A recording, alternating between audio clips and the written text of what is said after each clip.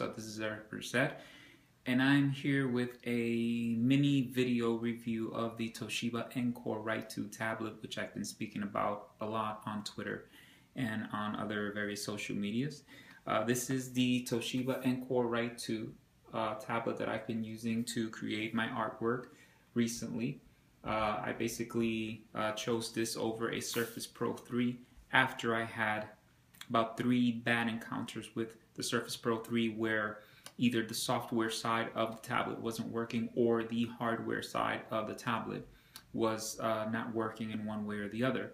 I heard a couple of people mention the Toshiba Encore Write 2 on Twitter and I decided to do my own little investigation to see uh, how this uh, tablet fared compared to the Surface Pro 3 which I really liked. Um, I was a little nervous about getting it but once I got it and I began to try it I immediately fell in love with the tablet. It's not a perfect tablet, uh, neither is the Surface Pro 3. Um, and it's definitely no Wacom tablet with uh, as far as the feel of the glass, um, where the uh, Wacom uh, tablets have that textured feel to it that kind of give a little bit of resistance to the pen. This actually does have a slight bit more resistance than the Surface Pro 3 in my opinion.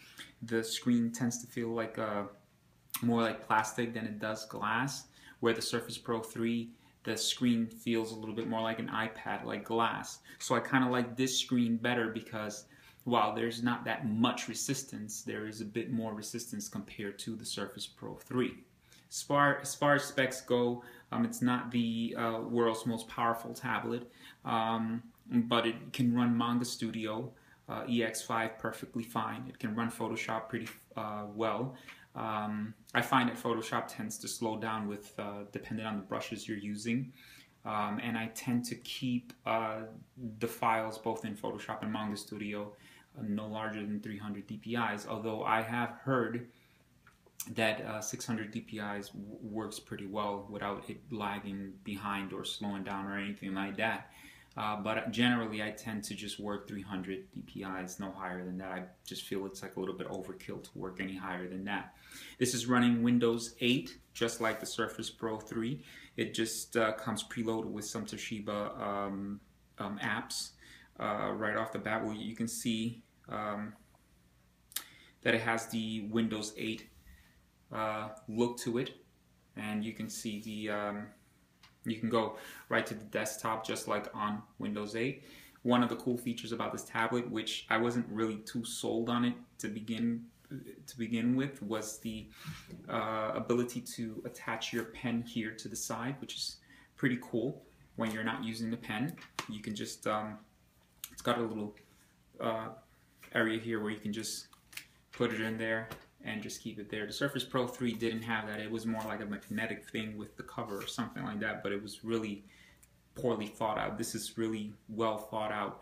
Um, and then the other thing that I like about the pen too is that it has a cap. Now, I read somewhere, don't remember where I read it, but I read somewhere where when you have the cap on and you're not using the pen, it extends the battery life. I've still got this battery in here that I that came with the Toshiba, and I have not changed it um, and it's been going on a couple of months already. But when you're ready to use it, you just uncap it and you put the cap right in the back. It's awesome. Um, and when you're not using it, again, put the cap on, slide it in the side, and you're ready to go. Overall, it's an awesome tablet. I keep getting asked how I like, how much I like this tablet. I love it a lot. Um, I do wish it had a bit more power. Um, but I have found that it, it, the, the little bit of power that does have, it's perfect for Manga Studio. I don't use Photoshop as much anymore. Um, I was using it a bit uh, before getting the tablet and now I'm not using it as much. Um, I don't use Sketchbook Pro on this. Um, even though the interface is awesome for tablets, I don't use it because Sketchbook Pro still uh, hasn't resolved this whole touch pen input issue where Surface Pro thinks that your touch is the same as pen input. So when they resolve that, I might end up using that application too alongside Manga Studio. But I found that Manga Studio is perfect for everything I need. Really awesome tablet, Toshiba Encore Write 2 for all of, the, uh, of those of you out there asking me how I feel about this tablet. It's perfect. It's perfectly priced. It's a perfect little powerful tool um, to use as either a digital sketchbook or even to continue working in Manga Studio uh, uh, on while you're on the go. Um, I find myself using it more than uh, I've been using my computer. Actually, I will be honest and say I disconnected my uh, Wacom Cintiq and I've been using this ever since. So Toshiba Encore Write 2, awesome, awesome tablet. Get it if you can. Thanks for watching and we'll see you in the next one.